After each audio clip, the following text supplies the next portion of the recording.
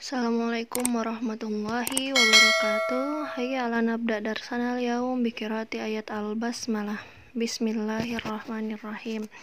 Uh, Baik teman-teman uh, Materi minggu ini adalah Sesungguhnya adalah um, Mirip dengan bagian dari materi minggu lalu Yaitu materi tentang Al-Jumlah Al-Ismiyah. Masih ingat ya?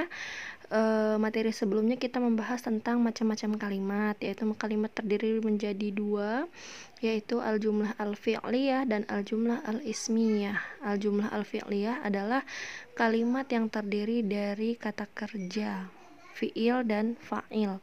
Kemudian kalau al-jumlah al-ismiyah adalah kalimat yang terdiri hanya dari isim.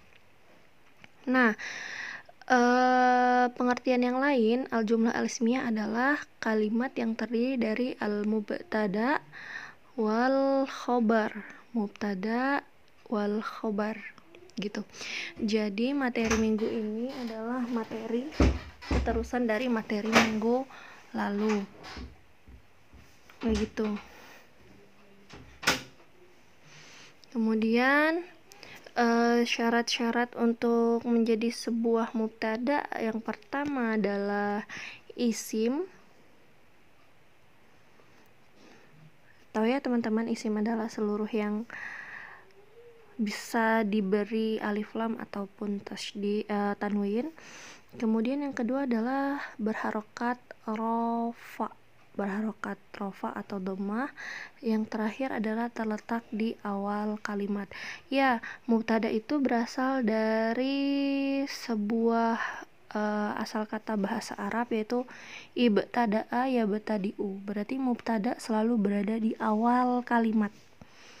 Dalam jumlah ismiyah di awal kalimat jumlah ismiyah itu pasti adalah disebut dengan mubtada. Kemudian syarat khobar sama seperti mubtada yang pertama adalah isim, yang kedua juga berharokat rofa, dan yang terakhir khobar adalah penyempurnanya mubtada. Gitu. Jadi tidak mungkin uh, di dalam sebuah kalimat itu terdapat khobar saja. Tidak ada mubtada itu tidak mungkin. Atau sebaliknya, ada mubtada saja tetapi khobarnya tidak ada itu tidak mungkin. Jika sesuatu itu terjadi, maka sebuah kalimat dikatakan tidak sempurna ya. Contohnya. At-tullabu mahirun. Mahasiswa itu pintar. Oke mahasiswa pintar. Mahasiswa pintar. Di sini adalah mubtada yang ini khobarnya. Atau biasa kita kenal dengan kalimat e, sifat ya khobar itu. Khobar itu seperti khobar kabar atau berita. Jadi kalimat yang menyempurnakan mubtada. Contoh yang kedua al-faslu kabirun. Kelas itu besar.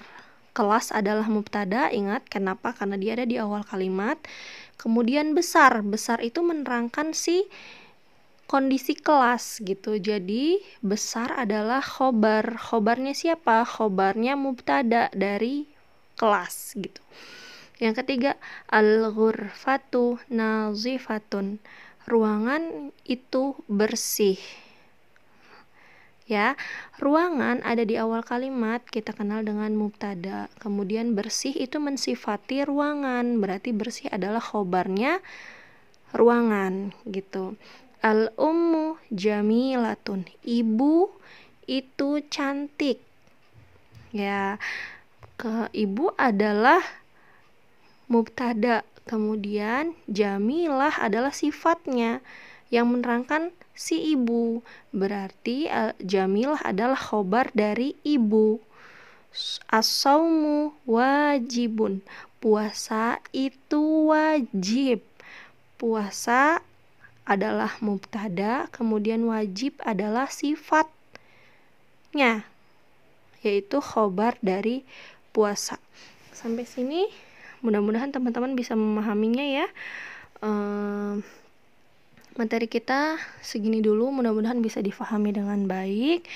hayya ala nakhtam darsanal yaum bikirati ayat alhamdulillah alhamdulillahirabbil alamin Assalamualaikum warahmatullahi wabarakatuh